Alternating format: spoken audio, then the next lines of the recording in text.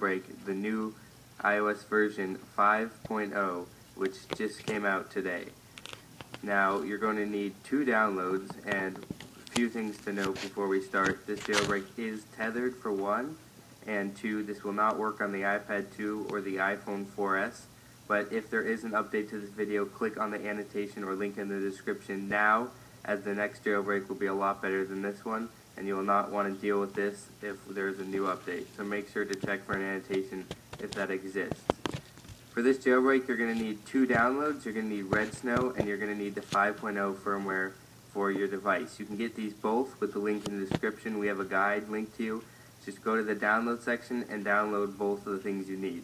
First, you're going to open Redsn0w.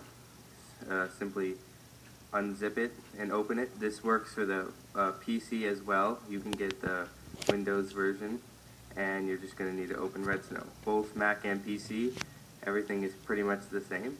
So the first step you're going to need to do is hit the Extras button and then you're going to hit Select IPSW. Now what you're going to do is find the IPSW 5.0 for your device which you downloaded previously.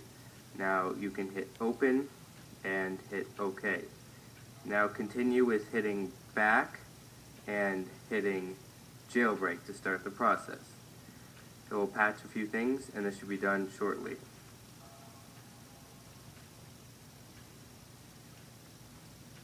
On this next step you can check anything, just make sure install Cydia is checked. So we're going to hit enable multitasking gestures as well, you can do that if you want, and hit next. Now once we do this it's going to tell us to get into DFU mode, so so I will be showing you how to do that right now. So we're going to hit next and then hit the top button for 3 seconds, hold both the buttons for this next time, and when that is ready, release the top button while holding the home button, and wait for it to continue to the next step. And there we go, exploiting with limera1n you should see your device will be um, ready to reboot. Once it reboots, it will start jailbreaking. And that could take a few seconds. There we go. We have the device now jailbreaking. And this process can take a few minutes. However, you are not done. Even if it looks like it, you're going to need a boot tether to be able to use Cydia. So it says done here, but you're not actually done. So we can see this is going on right now. So you can hit uh, cancel because everything's on the device now and you're going to have to open up Redsn0w again. Now we're going to be waiting for the device to uh, finish jailbreaking and wait a little while for that and it should work. So on the second part, you're going to need to open up Redsn0w like we said before and hit extras. Now you're going to have to select your IPSW again like you did before. Should be pretty simple. Hit OK. And you're going to have to hit just boot to just boot tether now.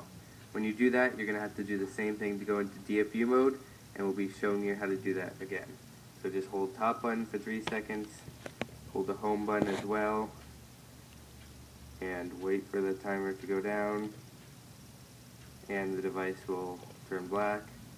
Release your top hand and wait for the next menu to appear. And there we have it. Now the device uh, should be uh, booting up right now. It's exploiting and should turn on shortly.